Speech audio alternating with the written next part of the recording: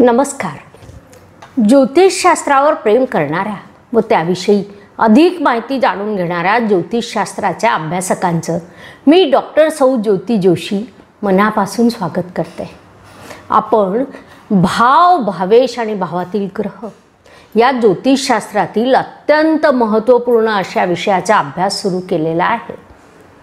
आधी आपण पत्रिकेतील भावेश अभ्यासत आहोत. मागील भागात आपण वृश्चिक लग्नाचा लग्नेश मंगळ यांचा अभ्यास केलेला. आजच्या भागात आपण धनु लग्नाच्या लग्नेशाचा अभ्यास करणार आहोत.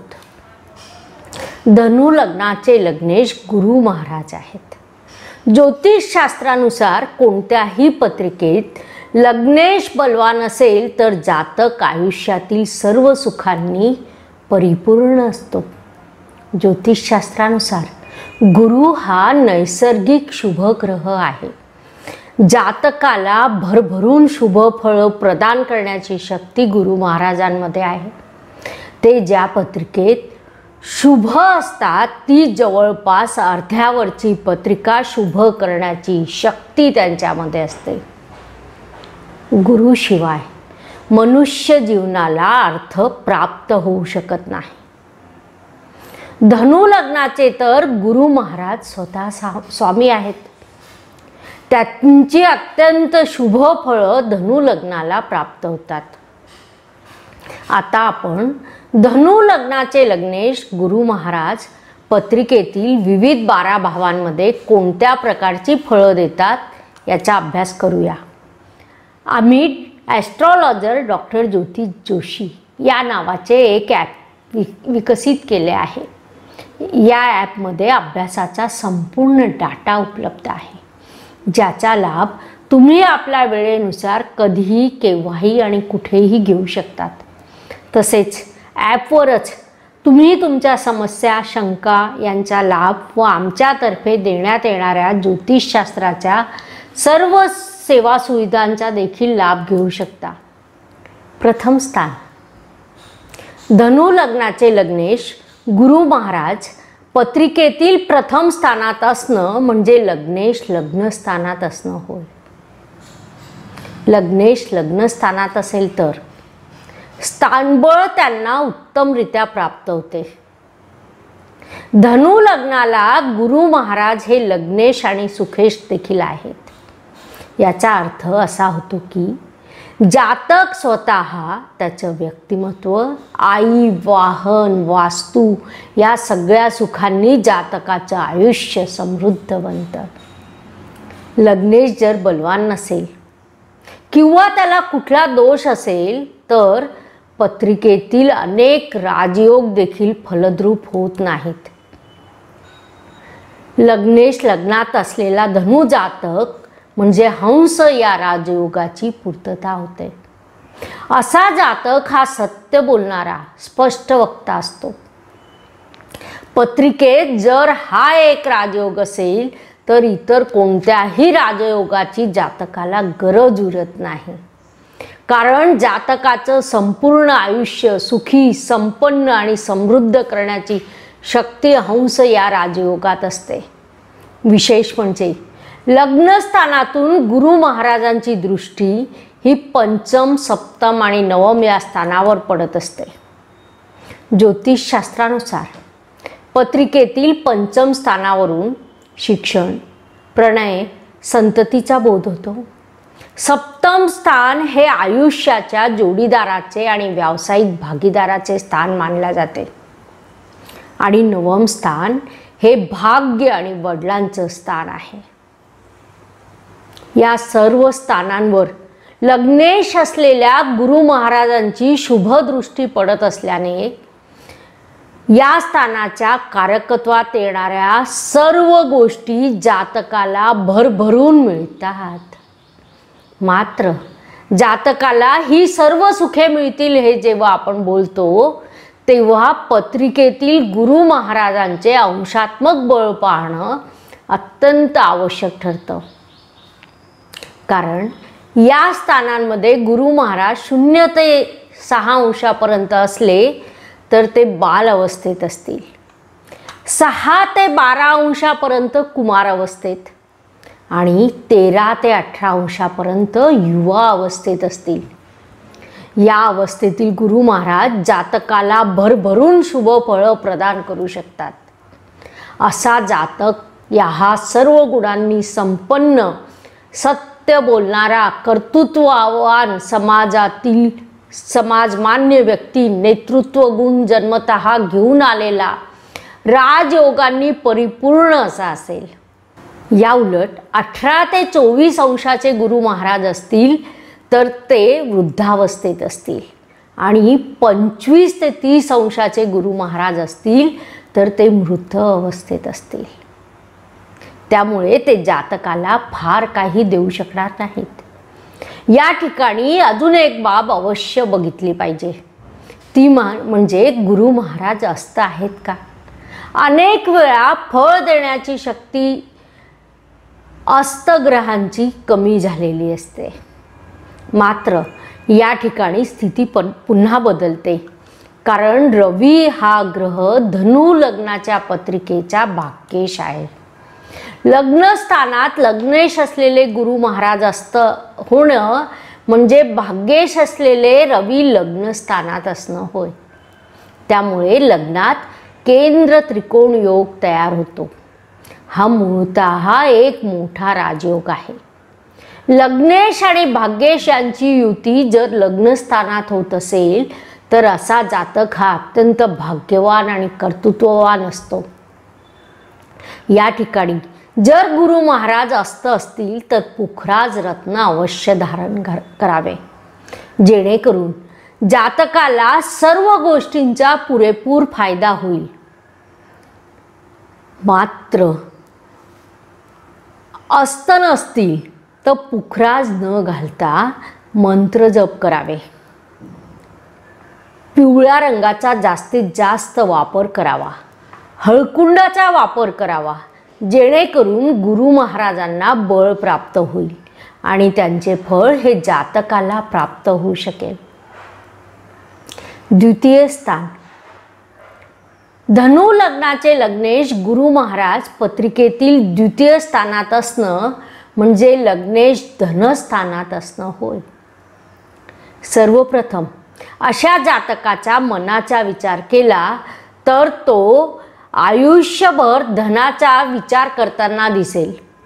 मात्र धनस्थानात गुरु महाराज हे निचीचे होत आहेत.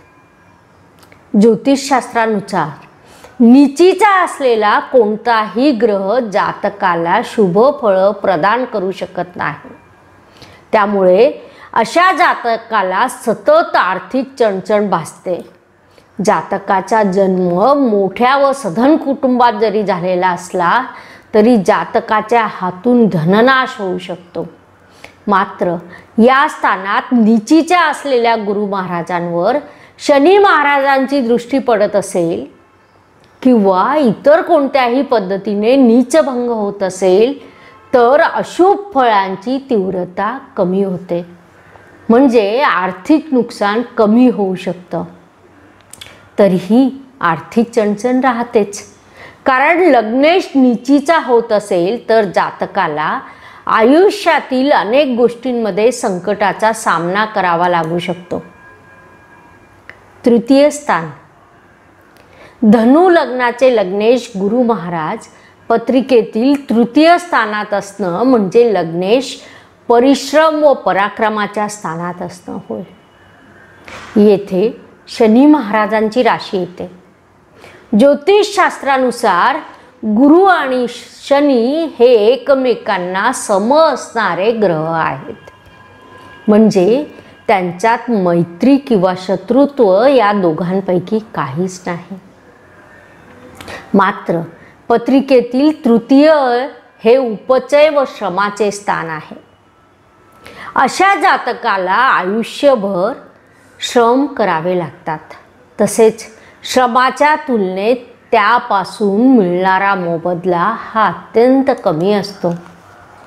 त्यामुळे असा जातक असमाधानी आयुष्य जगतो.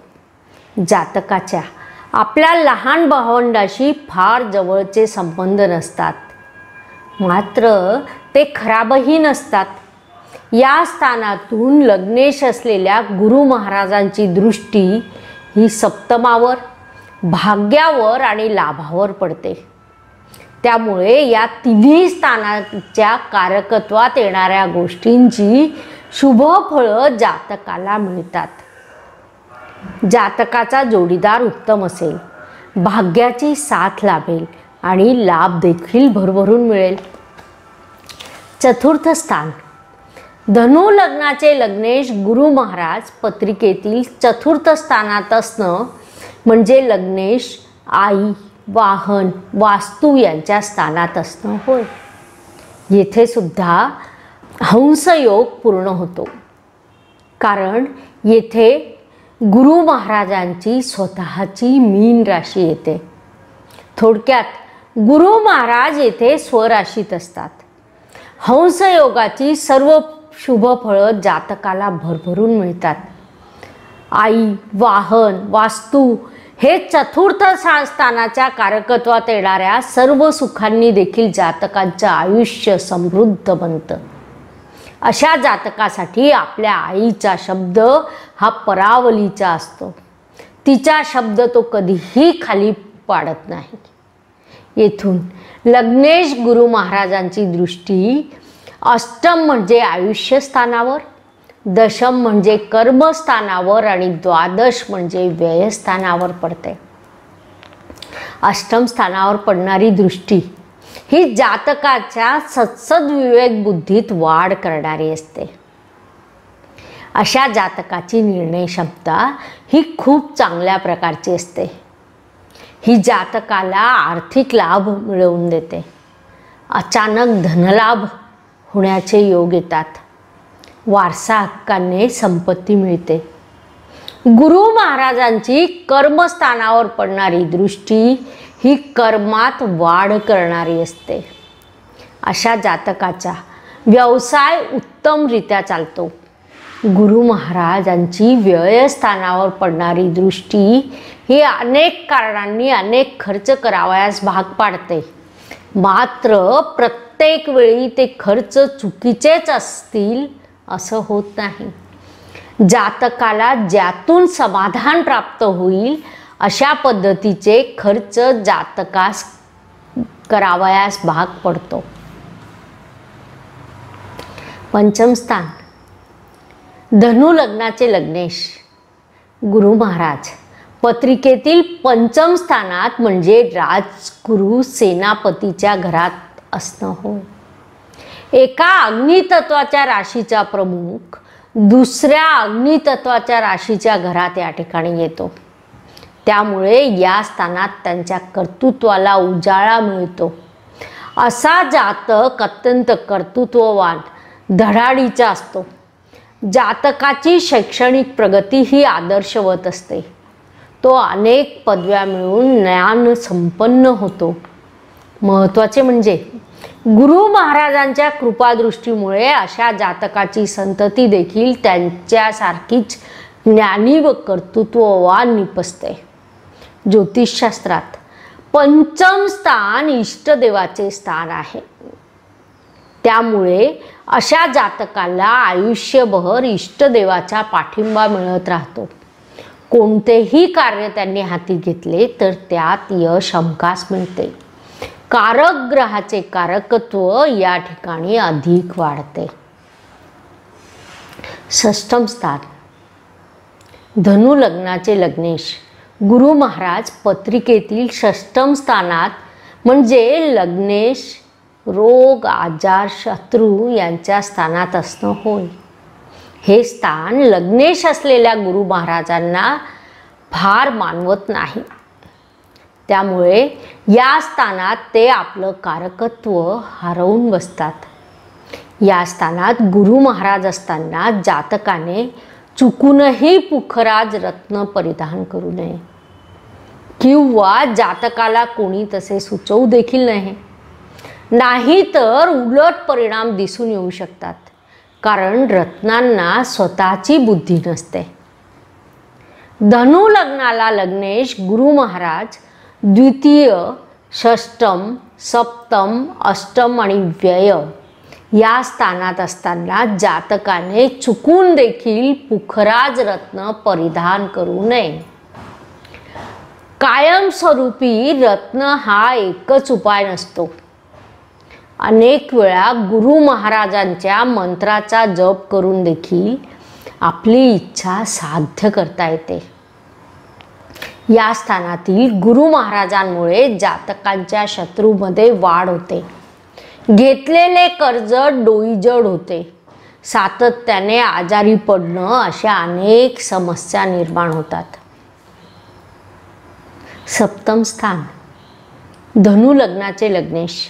गुरु महाराज पत्रिकेतील सप्तम स्थानात असणं म्हणजे लग्नेश जोडीदाराच्या स्थानात असणं होय.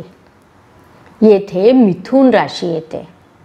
ही गुरु महाराजांची शत्रू राशी असून येथे ते निर्बली होत असतात. मात्र येथून लग्नेशाची लग्नस्थानावर दृष्टी पडते. त्यामुळे जातकाचं व्यक्तिमत्व शक्तिशाली प्रभावशाली बनतं. असा जातक हा आपल्या जोडीदाराची अत्यंत काळजी घेणारा असतो. मात्र त्याला जोडीदाराकडून योग्य प्रकारचे सहकार्य मिळतेच असं नाही. परिणामी त्याच्या वैवाहिक आयुष्यात तणाव निर्माण होऊ शकतात. वारंवार संघर्ष निर्माण होतात. त्यांच्यामध्ये ऐक्याचा अभाव प्रकर्षाने दिसून येतो. अशा जातकाने भागीदारीमध्ये व्यवसाय कधीही करू नये. तो त्याच्यासाठी लाभदायी ठरत नाही. कारण येथे गुरु महाराज निर्बली झालेले असतात. अष्टम स्थान. धनु लग्नाचे लग्नेश गुरु महाराज पत्रिकेतील अष्टम स्थानात असणं म्हणजेच लग्नेश आयुष्य स्थानात असणं होय. ज्योतिषशास्त्रानुसार पत्रिकेतील अष्टम स्थानावरून आयुष्यासह अडथळे समस्या अचानक धनलाभ आदी गोष्टींचा देखील बोध होत असतो. या स्थानात लग्नेश असेल तर अशा जातकाला आयुष्यात अनेक अडथळ्यांचा सामना करावा लागू शकतो. मात्र धनु लग्नाचा लग्नेश अष्टमात उच्चीचा होतो. उच्चीचा असलेला ग्रह जातकाला फार त्रास देत नाही. तरी देखील जातकाच्या आरोग्याविषयी अनेक प्रश्न वेळोवेळी तयार होतात. अशावेळी म्हणजे अष्टमात गुरु महाराज असताना रत्न परिधान करू नये. नाहीतर त्याचे उलट परिणाम जाणवू शकतात. रत्न हे औषधी स्वरूपाचे असते. मनुष्य आयुष्यभर औषध घेत नाही. आयुष्यभर औषध घ्यावे लागणं ही एक नकारात्मक गोष्ट मानल्या जाते. अशा परिस्थितीत जातकाने मंत्र जप करावा. शिक्षक गुरुजन यांचा आदर सन्मान करावा. ज्यामुळे आयुष्यातील अडचणी कमी होण्यास मदत होईल. इथून गुरु महाराजांची दृष्टी व्ययस्थानावर पडत असते. पत्रिकेतील चतुर्थ अष्टम आणि द्वादश ही स्थानं आध्यात्मिक प्रगती दर्शवित असतात. अष्टम स्थानातून गुरु महाराजांची दृष्टी ही चतुर्थ कुटुंब आणि व्ययस्थानावर पडते. व्यय व चतुर्थ स्थानावर पडणारी दृष्टी आणि अष्टम स्थानात गुरु महाराज असणं म्हणजे या ठिकाणी आध्यात्मिक त्रिकोण मोक्ष त्रिकोण पूर्ण होत असतो. त्यामुळे आध्यात्मिक प्रगतीच्या दृष्टीने व मोक्ष प्राप्तीच्या दृष्टीने अष्टमातील गुरु महाराज हे अत्यंत शुभदायी ठरतात. अशा जातकाचे सहावे ज्ञानेंद्रिय अत्यंत शक्तिशाली व कार्यक्षम असते. त्यामुळे भविष्यात घडणाऱ्या घटनांची त्याला आधीपासून माहिती मिळू शकते. तरी देखील भौतिक दृष्टीने विचार केल्यास अष्टम स्थानात लग्नेश गुरु असणं हे जातकासाठी उपयुक्त ठरत नाही. नवम स्थान. धनु लग्नाचे लग्नेश गुरु महाराज पत्रिकेतील नवम स्थानात असणं म्हणजे लग्नेश भाग्यात असणं होय. लग्नेश स्वतः उठून भाग्यात आलेला असल्यामुळे असा जातक हा जन्मत आपले भाग्य सोबत घेऊन आलेला असतो. नवम स्थानांमध्ये सिंह राशी येते. या राशीचे स्वामी रवी महाराज आहेत. सिंह आणि रवी हे दोघेही राजे आहेत. त्यामुळे लग्नेश गुरु नवम स्थानात म्हणजे राजगुरू राजाच्या घरात असणं असं देखील म्हणता येईल.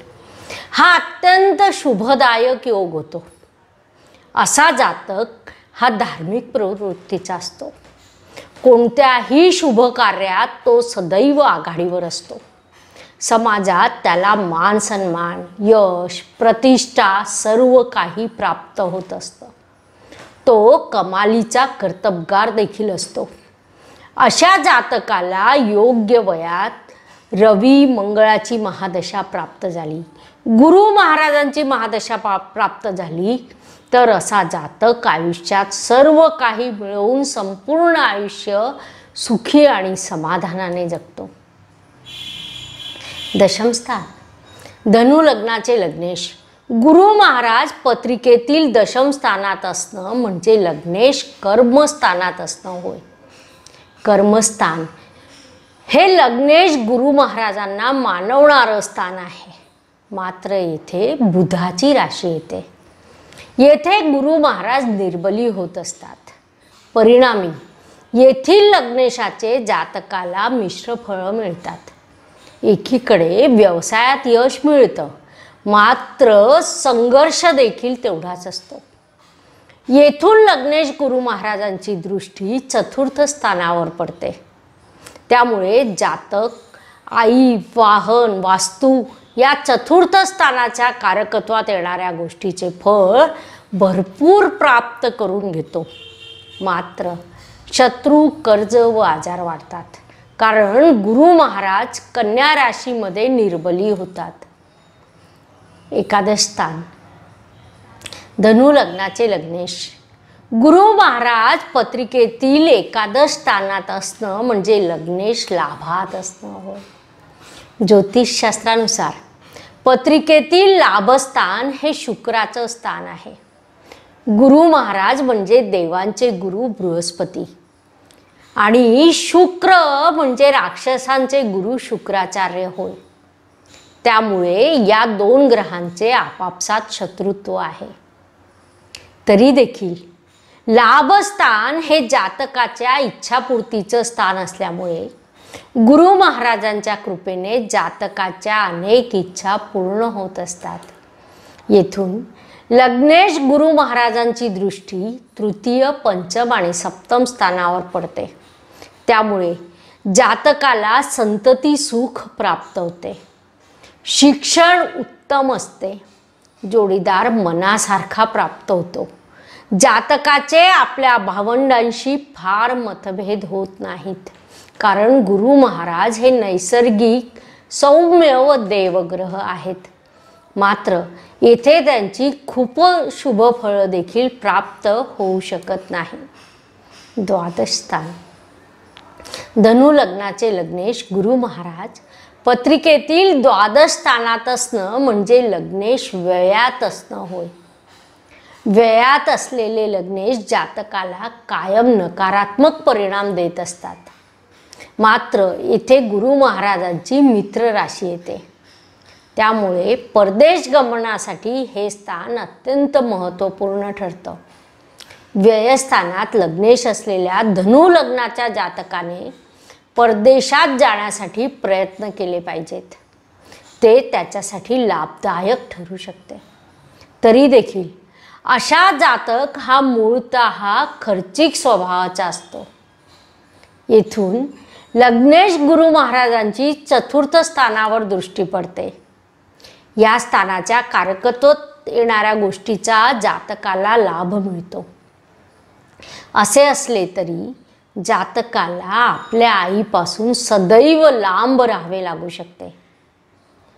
काही वेळा कारणाने तर काही वेळा कारण नसतानाही हे घडू शकतं. गुरु महाराजांची सप्तम दृष्टी षष्ठ स्थानावर म्हणजे शत्रू रोग कर्ज या स्थानावर पडते. त्याचा न नकारात्मक परिणाम जातकाला भोगावा लागू शकतो. याशिवाय अष्टम म्हणजे आयुष्य स्थानावरही गुरु महाराजांची दृष्टी येथून पडते. ही दृष्टी जातकाचं आयुष्य वृद्धिंगत करते.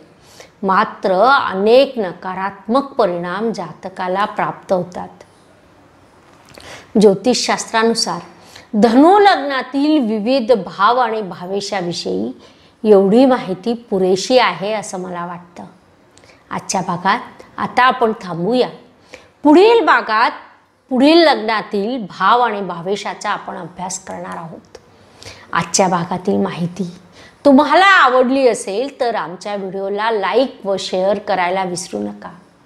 कारण यूट्यूबची कार्यप्रणाली ही मुख्यतः चॅनलला सबस्क्राईब व मिळणाऱ्या लाईकवर चालते त्यामुळे ज्योतिषशास्त्रावर प्रेम करणाऱ्या सर्वांनी आमच्या चॅनलला सबस्क्राईब करून व्हिडिओला लाईक व शेअर करून ज्योतिषशास्त्राच्या प्रचार आणि प्रसाराच्या कार्यात आम्हाला सहकार्य करावे ही विनंती. ज्योतिषशास्त्रातील अशीच नवनवीन माहिती मिळवण्यासाठी आमचं यूट्यूब चॅनल बघत राहा. शुभम भवतु. धन्यवाद. Música